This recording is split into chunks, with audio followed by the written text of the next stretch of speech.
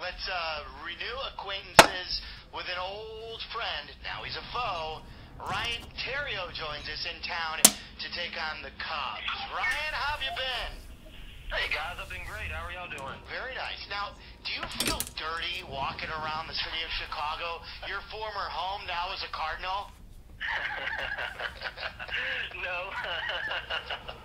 I don't know. I don't. I, Well, you, did, did you pack your uh, tank top and jean shorts to, to mesh right in with the Cardinal fans? tank top, jean shorts, and some Timberland boots. There.